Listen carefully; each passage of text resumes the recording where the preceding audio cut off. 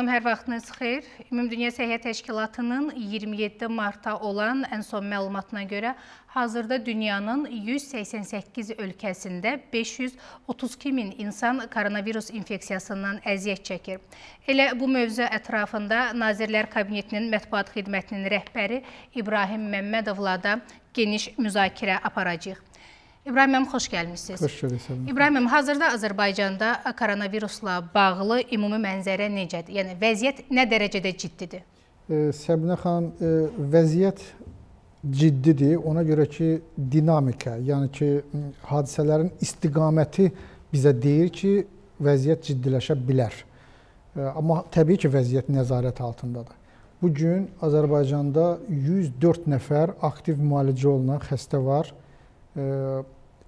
deməli dünən 29 yoluxma olub. Yəni bir sutka ərzində 29 yoluxma olub və indiyə qədər 3 nəfər də dünyasını dəyişib. Düzdür, dünyasını dəyişənlərin içərisində başqa xroniki bronxit və başqa xəstəliyi olanlar da vardı. Ona görə də bu xəstəliklərin də təsiri olduğu təbii ki, mümkündür və ehtimal olunur.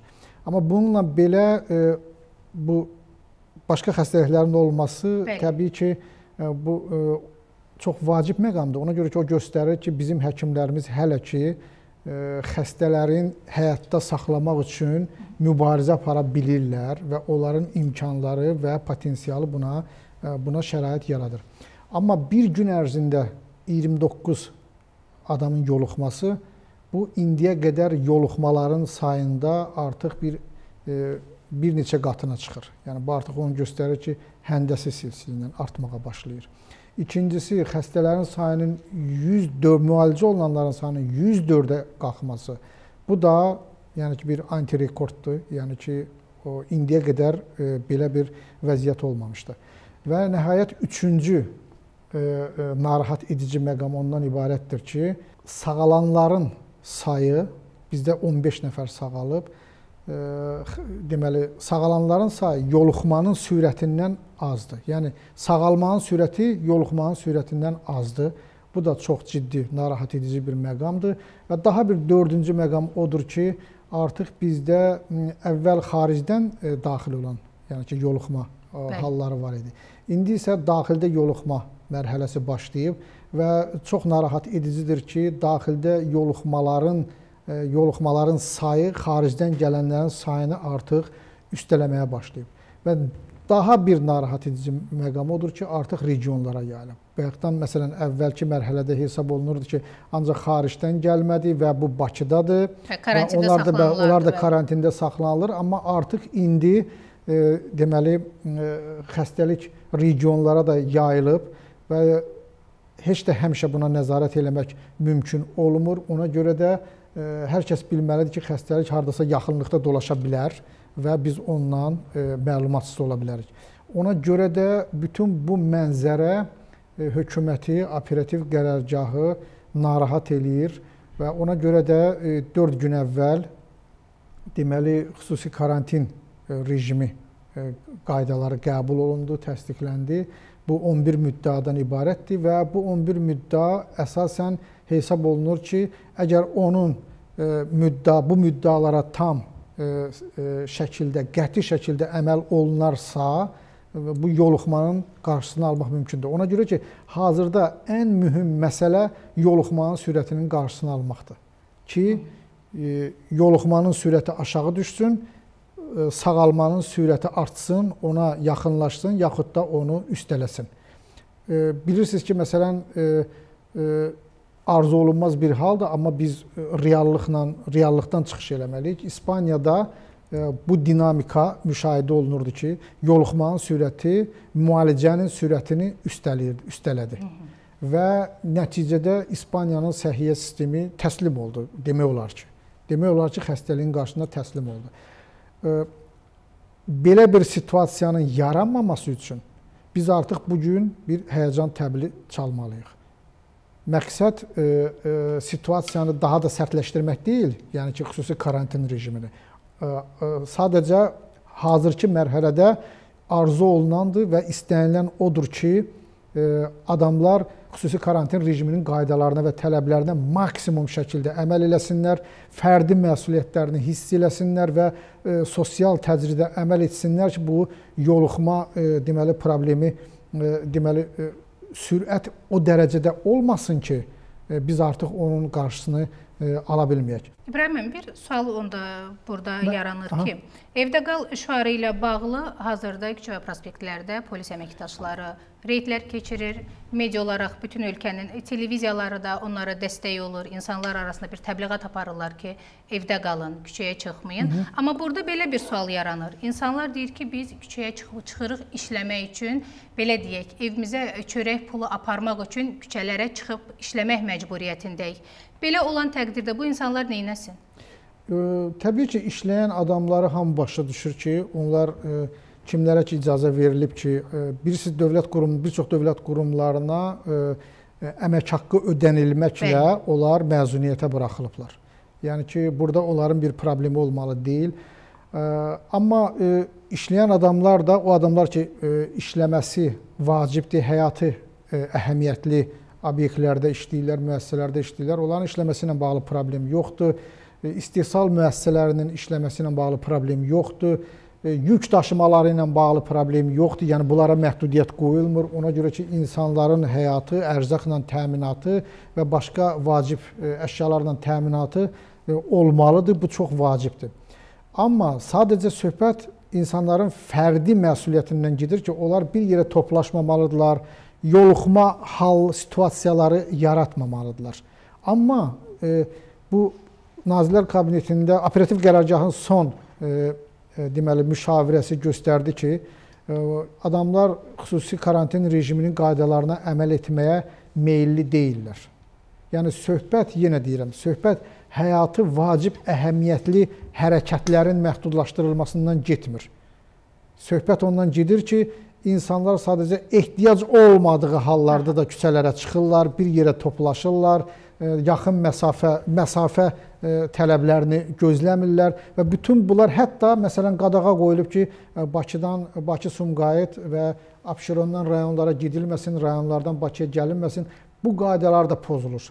Ona görə də məsələn mənzərə belə ki, Daxili İşlər Nazirliyi 3 gün ərzində 745 nəfərə inzibati məsuliyyətə cəlb etmə məcburiyyətində qalıb. Yəni bu o deməkdir ki, insanlar qaydaları pozmağa meyllidirlər. Bir nəfərin haqqında cinayət məsuliyyəti, e, yəni ki, Bəs cəzaları lap e, sərtləşdirmək olmazmı ki, insanlar artıq belə deyim, cəzalardan biraz çəkinməsin? Cəzaları sərtləşdirmək olar, amma sadəcə e, e, operativ qərargah ümid eləyir ki, insanlar e, real situasiya ilə tanış olduqca onlar özləri e, deməli fərdi məsuliyyətlərini dərk edəcəklər, öz övladları qarşısında, öz ailələri qarşısında fərdi məsuliyyətlərini dərk edəcək, dərk edəcəklər, amma təbii ki, bu qaydalara əməl etməsələr, bu situasiya davam etsə, e, təbii ki, onda hökumət, operativ qərargah qaydaları daha da sərtləşdirməyə hazırdır.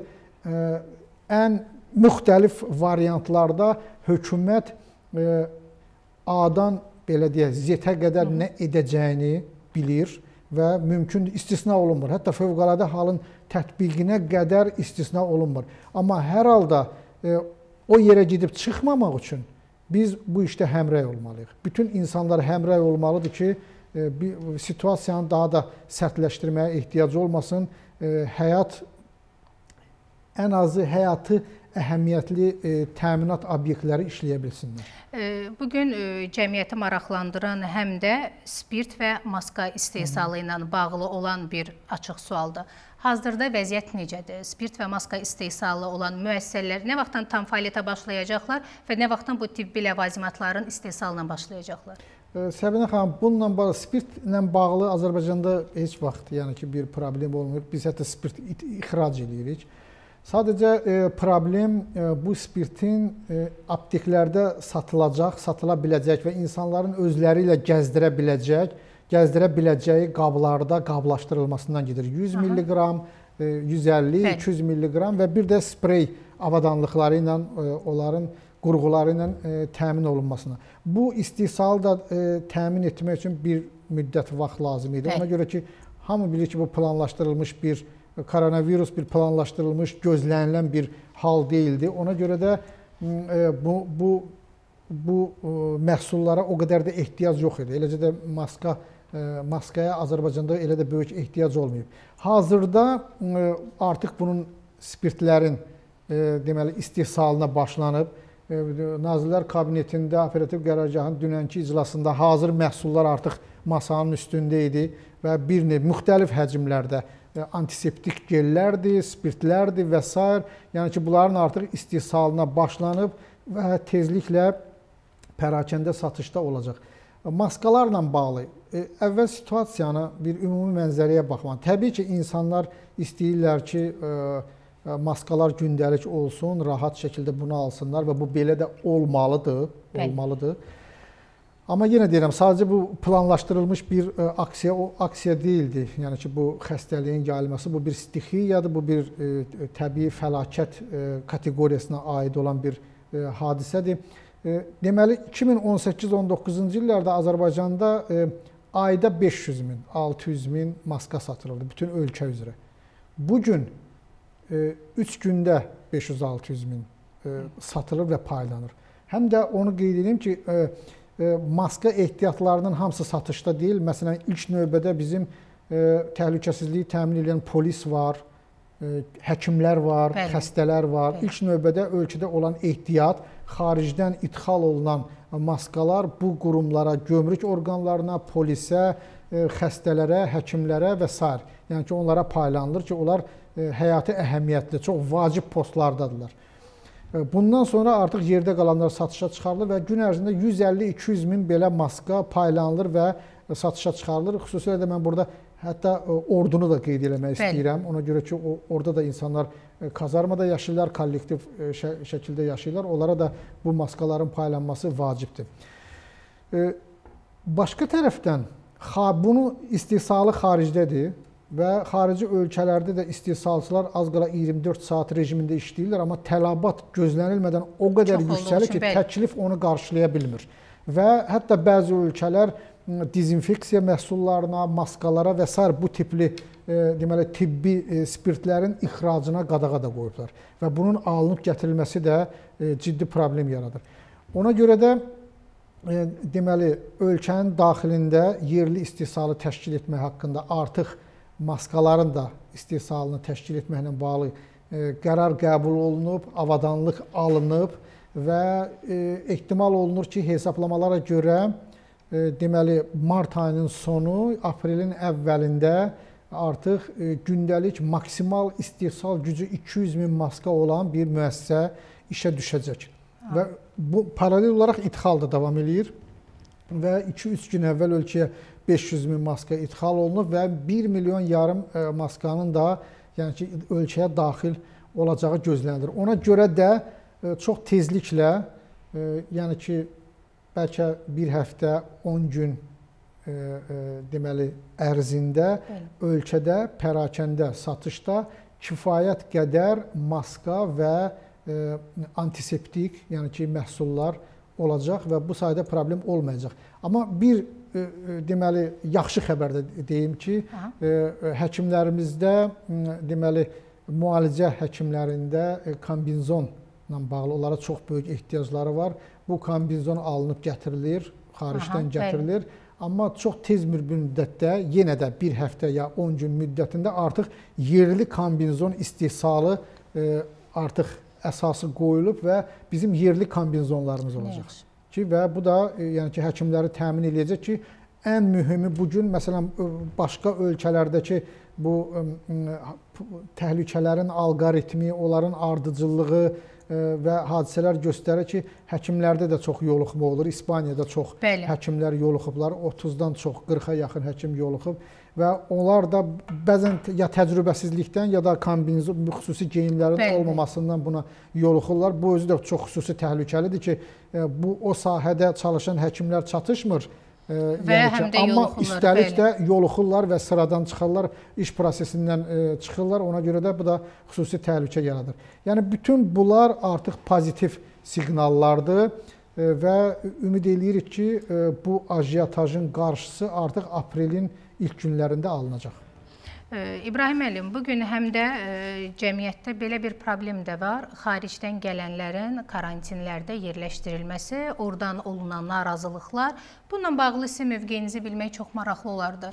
Vəziyyət hazırda necədir? E, bilirsiniz, bu mən dediyim, indi deyəcəyim mövqe deyil, şəxsi mövqe deyil, bu bir hesablamadır.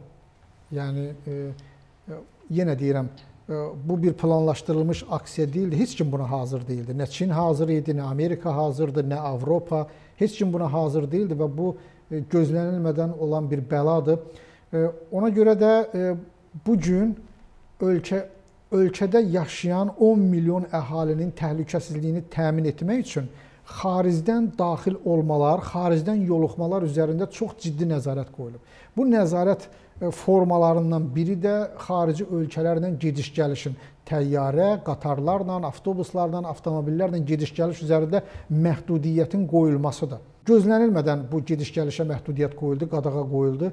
Yolda ilişib qalan e, vətəndaşlar vardı, adamlar vardı ki, bilet almışdılar, kimsə aeroportda idi, kimsə yolda idi, aeroporta gedən yolda idi və bütün bu vətəndaşlar artıq onlar e, nə getdiyi yerdədirlər, nə də gəlməli olduqları Bəli. yerdədirlər, aralıq bir məsafədə qalıblar. Dövlət təbii ki, öz vətəndaşlarına sahib çıxdı. Ödənişsiz olaraq charter reysləri təşkil elədi və dünyanın müxtəlif yerlərindən, İtaliyadan, Türkiyədən, İrandan, e, Rusiyadan, e, Londondan, Nyu-Yorkdan e, vətəndaşlarımızı ölkəyə təxliyə elədi. Özü də 10 min 10 mindən çox 10 min 200 ya 10 min 800 bu qədər vətəndaşı ölkəyə gətirdi özü də ödənişsiz. Aha. Amma e, bunun e, arası kəsilmir. Proses onu göstərir ki, gəlmək istəyənlərin sayı getdikcə artır. Hı. Getdikcə artır.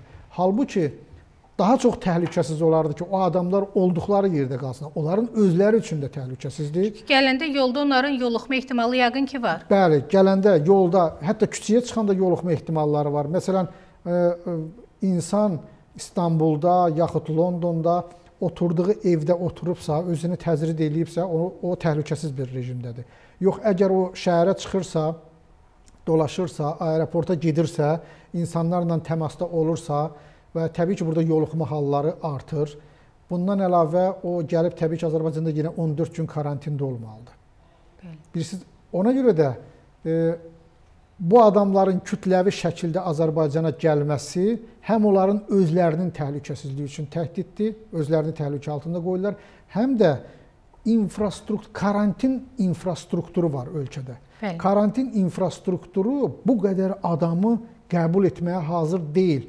Getdikcə xəstəxanaların sayı artır ki, bu xəstəxanaları artıq boşaldırlar. Bura ancaq karantinə gələnlər e, yerləşdirilir. İndi 3000-dən artıq 4000-ə yaxın karantində olan adam var. Və burada bir e, problem də yaranır ki, e, karantində yerlərin azad olunmasını gözləmək üçün vaxt lazımdır. Və e, xaricdən gələnlər də məsələn İstanbul aeroportunda, Moskvada aeroportda yığılırlar. Onlar da onların da təyyarələri təxirə salınır və onlar bura gəlmək üçün gözləməli olurlar. Bəli. Buna görə də həm ordakılar əziyyət çəkir, bura gəlmək istəyənlər əziyyət çəkir, həm burdakılar əziyyət çəkir. Buna görə də bu zəhmətin çəkilməməsi üçün və karantin infrastrukturunun e, öz fəaliyyətini normal davam etdirməsi üçün həmin həmvətənlərimizin olduqları yerdə qalmaları daha yaxşı olardı. Onlar üçün də yaxşı olardı, onların buradakı valideynləri üçün də yaxşı olardı. Ona görə ki, onlar bizim övladlarımızdır. Yəni ki, ölkəyə dönmək, qayıtmaq, vətənə gəlmək hər bir Azərbaycanlının təbii haqqıdır, onun Bəli. hüququdur və bu hüququ ona heç kim məhdudlaşdıra bilməz və məhdudlaşdırmır da. Burada olduğunuz yerdə qalın, bu hüququn məhdudlaşdırılması deyil. Bu texniki imkanların məhdudluğundan, infrastruktur imkanlarının məhdudluğundan və fövqəladə bir vəziyyətdən yaranmış bir situasiyadır. Ona görə də e, operativ qərargahın dünənki müşavirəsində də belə fikirlər səsləndirildi ki, yaxşı olar ki, o adamlar bizim e, övladlarımız, tələbələr və başqa vətəndaşlar olduqları yerdə qalsınlar və buna bir fasilə versinlər ki, yəni ki, e, karantinlər boşalsın. Amma burada bir məqam da var, e, yaxşı məqamlar da var Səbinə xanım. Yəni ki, insanlar bir həmrəylik nümayiş etdirirlər. Karantinlə bağlı, karantin infrastrukturu ilə bağlı gərginlik yarandığına görə bizim bəzi sahibkarlar özlərinin mülklərini, otellərini, Bəli, istirahət zonalarını dövlətə təmənnasız, qeyd şərtsiz e, deməli təqdim edirlər. Bəli. Və hətta bəziləri e, o həmin təqdim öz otellərində karantində olan e, bizim e, tələbələrimiz ki, gəliblər, vətəndaşlarımız başqa ölkədən, onları öz hesablarına bəli. onların ərzağını, qidasını e, təmin edirlər. Başqa bir bu çox gözəl bir həmrəylik nümunəsidir. Sonra məsələn tələbələr var ki, onlar xaricdə gəlmək istəmirlər. Başa düşürlər ki, bu bir problemdir, onların özləri üçün problemdir. Burada e, infrastruktur e, yükə düşür və e, deməli e, bunun üçün də bir, burada da yəni ki, onlar əziyyət çəkəcəklər, karantində qalacaqlar. Ona görə oradan yığılıb e, tələbələrimiz e, e, çaxlar hazırlayırlar və deyirlər ki, biz burada qalırıq sizin üçün, siz də öz evinizdə qalın bizim üçün. Yəni ki, bu da bir həmrəyliyin nümunəsidir. Başqa bir gözəl həmrəylik e, bizim e, deməli m, koronavirusla mübarizəyə qarşı fond yaradır, yaradılıb. Fonddakı elə ən son rəqəmlərlə bağlı istəyərdim Bəli, onunla istəyərdim bağlı on, açıqlama bəli, bu, bu məsələ haqqında danışaq. E, Prezident e, bir ilk bilirsiniz prezident fondundan ora 20 milyon manat e, köçürüldü. Sonra prezident İlham Əliyev öz e, bir illik maaşını ora köçürdü. Birinci vitse-prezident bu aksiyaya qoşuldu və e, hazırda elə bir həmrəylik var və e, imkanı çox olan da, az olan da hamı ora nəsə eləmək istəyir və inanın ki, e, e, saytda onların adları yenilənir gündə 2 dəfə.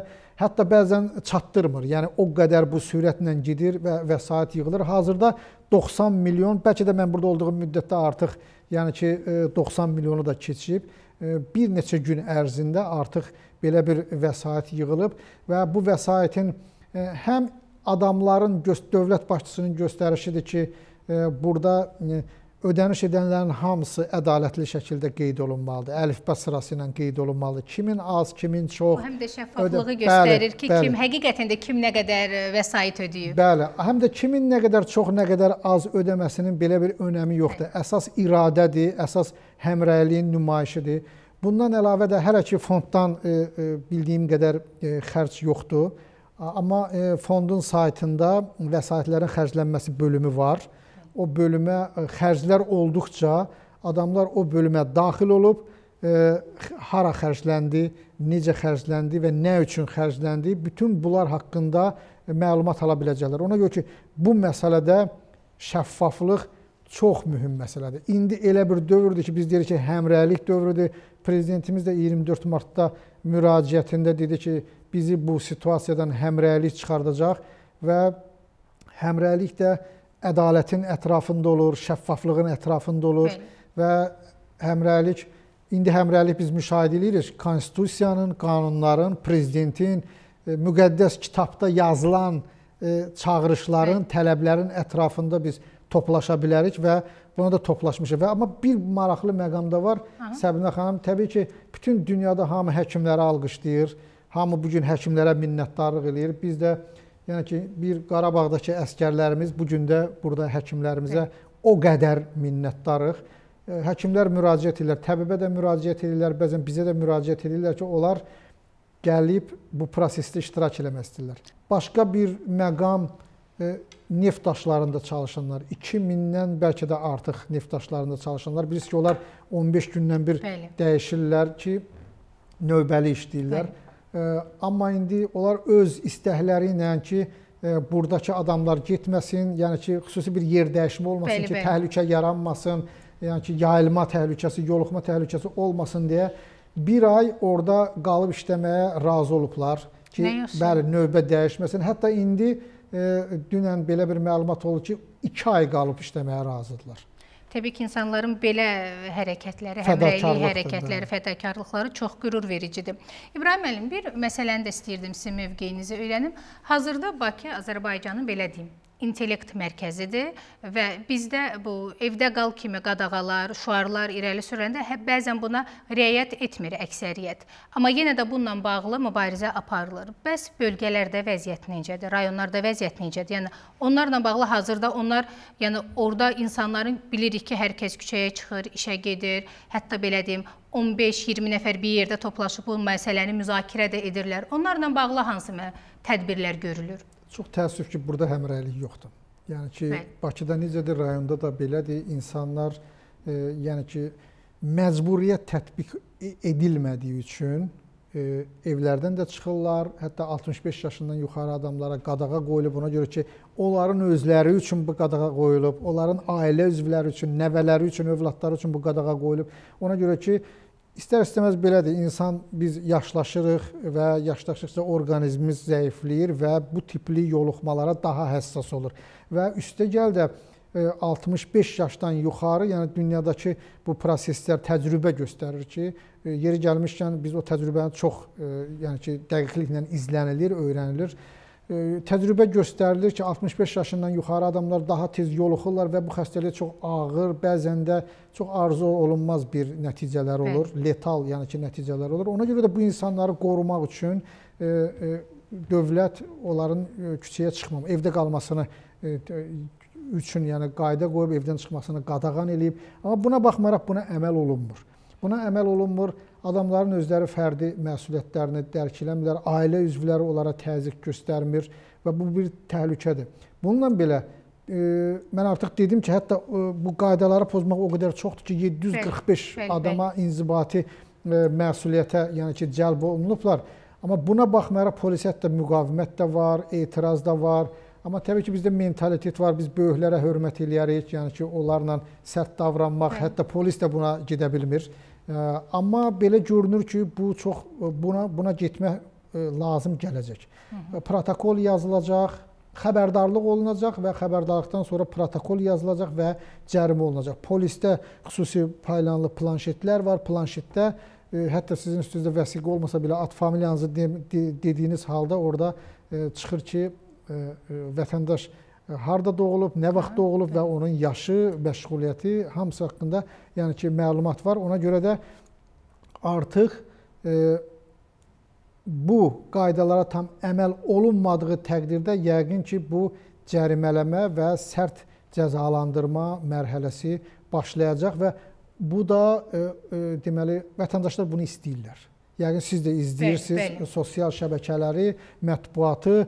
İnsanlar istəyirlər daha sərt tədbir görülməsini istəyirlər. İnsanlar narazıdırlar ki, e, bu tendensiya artır, artıq bu yoluxma, yəni ki, bu nə yenə deyirəm, bugünkü nisbət e, yoluxmanın sürəti e, müalicənin sürəti ilə disproporsiya yoluxma sürəti ilə müalicə sürəti arasındakı kəskin dispra bu disproporsiya və xəstəliyin artması bu onu göstərir ki, biz e, arzu olunmaz istiqamətdə hərəkət edirik.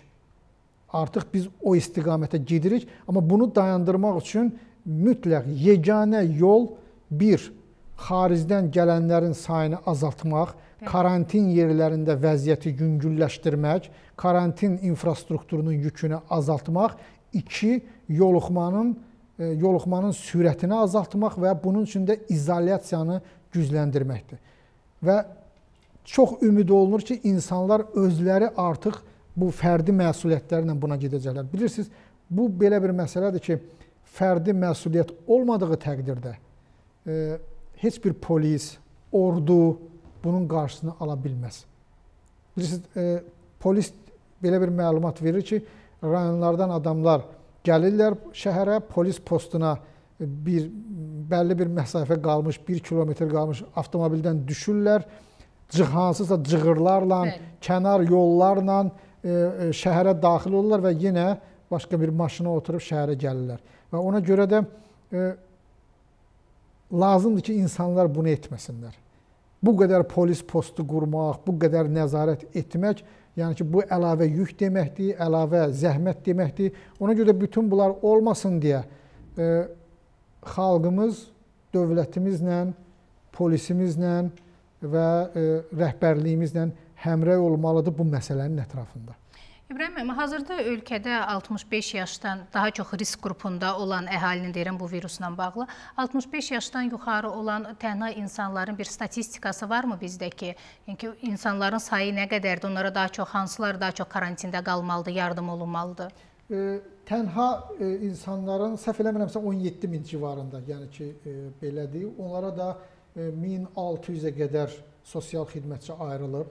Bəli. Artıq demək olar ki, rayonlardan da siqnallar var və həmin tənha adamlardan ki, dərhal qərar qəbul olundan sonra onlara Əmək və Əhalinin Sosial Müdafiəsi Nazirliyinin yerli regional şöbələrindən zənglər olunub və onlara müraciət olunub ki, biz sizə hər cür xidmət göstərə bilərik. Hətta xid əvvəllər 1-2 saat xidmət göstərirdilər, sosial xidmət.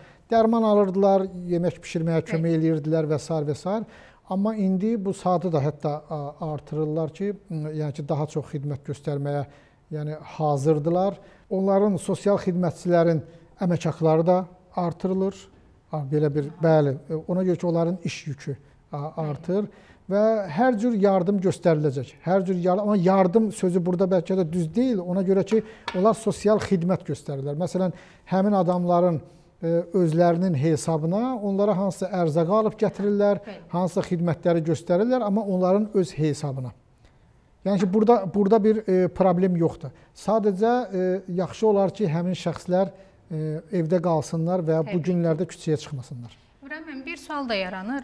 E, Deməli, operativ qərargahın qəbul etdiyi qanuna əsasən ölkədə bir ay müddətinə mollar da daxil olmaqla bir çox iaşə obyektlərinin fəaliyyəti dayandırıldı. Bu meyarları kim müəyyən edir? Yəni hansı kim hansı təyinat üzrə daha çox qadağalar olur?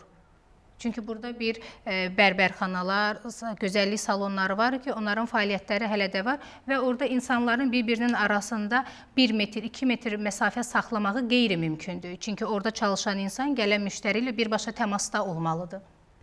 E, Burada meyar nədir? Meyar odur ki, e, meyar odur ki, insanların bir yerə daha çox toplaşdığı və yoluxma təhlükəsinin olduğu e, məkanlar maksimum şəkildə qapansın ki, insanlar bir yerə toplaşmasınlar. Amma həyati təminat əhəmiyyəti olan obyektlər var. Məsələn, e, mollarda düz deyirsiniz, bağlandı mollar. Bəli. Amma molların içərisindəki ərzaq mağazaları, ərzaq mağazaları və apteklər bəli. fəaliyyətdədir. Yerdə qalan bütün e, mağazalar bağlandı. Bundan əlavə, məsələn, e, yemək yemək, yəni o kafe və restoranlar minimum e, həddə salınıb. Yəni saat 12-dən 15-ə qədər ki, e, burada insanlar nahar fasiləsində yemək yeyə bilsinlər. Ona görə ki, biz bayaq sizlə danışdıq ki, istehsal prosesi getməlidir, Bəli, bəli, tranzit ki. yüklər daşınmalıdır. Yəni ki, ərzaq mağazalarda ərzaqla təmin olunmalıdır. Ona görə də bu adamların da bir nahar etmək, yəni ki, imkanları olmalıdır. Bu sıraya həm də düşünürlər ki, e, məsələn, bərbərxana, salonlar, bunlar da bir gigiyenik əhəmiyyəti var. İnsanlar saçlarını kəstirməlidirlər, özlərinin hansı bir gigiyenik prosedurlarını həyata keçirməlidirlər. Ona görə e, bu obyektlərin işlənməsinə icazə verilir. Amma bununla belə, məsələn, hətta e, iri ərzaq mağazalarının daxilində ərzaq mağazalarını qadağan etmək olmaz. Onda Bəli, yəni ki, bu mümkün deyil. Amma ərzaq mağazalarının içərisində satıcılara və alıcılara qoyulan şərtlər var. Satıcılar mütləq maskada olmalıdır, əlcəkdə olmalıdır. E, Alıcılar da e, əllə toxunmamalıdırlar bəzi şeylərə, yaxud orada məhsullar ki, qida məhsulları var, onlar e, bükülmüş, yəni ki, e, izolyasiya olunmuş e, şəkildə satışa çıxarılmalıdır. Adamlar bir-birlərindən 2 metrlik məsafəni gözləməlidirlər. Yəni ki, bütün bu şərtlərə əməl olunmaqla, o cümlədən dediyiniz bərbərxana, gözəllik salonu, əgər gözəllik salonunda 10 nəfərdən artıq adam yığılırsa, artıq bu təhlükə mənbəyidir. Ona görə də orada işləyən adamların özləri bu məsələyə riayət etməlidirlər həm işləsinlər, həm öz funksiyalarını yerinə yetirsinlər, əhalinin də e, yenə deyim, bəzi gigiyenik tələbatları ödənsin, amma eyni zamanda yoluxma halı olmasın. Yəni bu artıq orada işləyən adamların özünün fərdi məsuliyyətidir. Ona görə ki, hər kəs həmin yerdə orada müştəri də, işləyən də oradan çıxır, evinə gedir, övladının yanına gedir. Ona görə də maksimum izolyasiya olmalı. Amma burada da m, e, hətta burada da bu qaydalar pozularsa, xüsusi karantin rejiminin normalarına riayət etməsi, riayət edilməsinə nəzarət e, o e, Daxili İşlər Nazirliyinə həvalə olunub və Daxili İşlər Naziri təbii ki, onlar bu işə müdaxilə edəcəklər, e, xəbərdarlıq eləyəcəklər, cərimə edəcəklər və hətta qapada bilərlər. Yəni ki, həmin bəli, həmin məkanların bağlaya bilərlər. e, bilmirəm, bəlkə kimlərinsə lisenziyası əlindən alına bilər. Yəni bu mümkündür. Təki əsas odur ki, buna riayət olunsun. Bundan başqa da e, son müşavirədə e, müşavirənin elə məqsədi o idi ki, bu yeni yaranmış situasiyanı, Bəli. yəni bu epidemiyanın yaratdığı yeni mənzərəni, yeni şəkli müzakirə olunsun və orada baş nazir müraciət elədi ki, e, həm insanlara, həm də deməli dövlət orqanlarına, müvafiq orqanlara, şəhər və rayon icra hakimiyyətlərinə ki, bu gün bir nömrəli tapşırıq ondan ibarətdir ki, xüsusi karantin rejiminin tələblərinə əməl olunmalıdır. Və bu bu gün dövlət orqanlarının qarşısında bir nömrəli məsələdir. İbrahim müəllim, sonuncu bir sualımı da vermək istəyirəm. Adətən e, televiziyalar rəsmi məlumatları verir efirə, operativ qərargah tərəfindən verilən məlumatları. Ancaq bəzən elə biz özümüz görürük ki, elə həkimlərdə, digər dövlət orqanlarında işləyənlər də bu məlumatlara, biraz belə vəziyyətin ciddiliyinə biraz laqeyd yanaşırlar. Heç nə olası deyil, məlumata baxmayın, məsəl üçün maska taxmayın. Bunlarla qarşı necə mübarizə aparaq? Bilirsiniz, ola bilsin e, həkimin xasiyyəti belə. Yəni həkim əslində e, xəstəni onların professional yanaşması var ki, xəstə sakitləşdirmək lazımdır. Hə. İnsanları qorxutmaq olmaz, panika yaratmaq olmaz. E, bu doğrudur. Bu əslində doğru bir yanaşmadır. Amma eyni zamanda insanlara reallığı da demək lazımdır Hə. ki, sənin yoluxmaq və xəstələnmək e, təhlükən var. Təbii ki, xəs həkim xəstəni müalicə eləyəndə ona deyir ki, yaxşı olacaqsan, hər şey yaxşı olacaq, amma ona həm də yataq rejimi yazır. Ona həm də dərmanı da içirdir. Bəli. Yəni ki, bu ikisi bir yerdə olur. Xəstə bilir ki, o xəstədir, amma ümidi olur ki, o sağalacaq. Yəni bunun ikisi bir yerdə olmalıdır. İndi də həkim deyir ki, yəni ki, açıq havada olun, yəni ki, belə Amma əslində mən sizə deyim, həkimlərin açıq havada olması, onlar ümumiyyətlə orqanizmi möhkəmləndirmək haqqında danışırlar. Onlar karantin rejimində orqanizmi gücləndirmək haqqında danışmırlar. Aha. Onlar ümumiyyətlə adi həyatda, yəni ki, nəzəriyyədə orqanizmi necə möhkəmləndirmək olar? Meyvə yemək, düzgün qidalanmaq, bəli, bəli. açıq havada olmaq, günəş altında karantin e, günəş altında olmaq, deyil, amma evdə qal rejimində artıq bu tələblər dəyişir. Ona görə ki, burada e, evdə qalınan açıq havada ol bir araya sığmır. Deməli biz nə etməliyik? Evdə qalmaqla açıq havada olmaq arasında seçimdə tələb belədir ki, evdə qalmalısan. Bəli. Evdə qalmalısan, açıq hava təbii ki, pəncərəni açıq qoymaq olar, qapını. Bəli, Mən bəli. mütəxəssis deyiləm, deyə bilmərəm, bu, bu barədə danışa bilmərəm. Amma həkimlərin o dedikləri o adi həyat üçündür və nəzəriyyədir. Amma karantin rejimi üçün deyil. Aydın İbrahim müəllim, çox sağ olun suallara ətraflı cavab verdiyiniz üçün.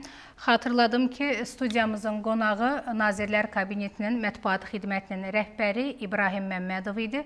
Biz onunla hazırda Azərbaycanda müşahidə olunan koronaviruslu vəziyyətlə bağlı müzakirə aparırdıq. Hələlik.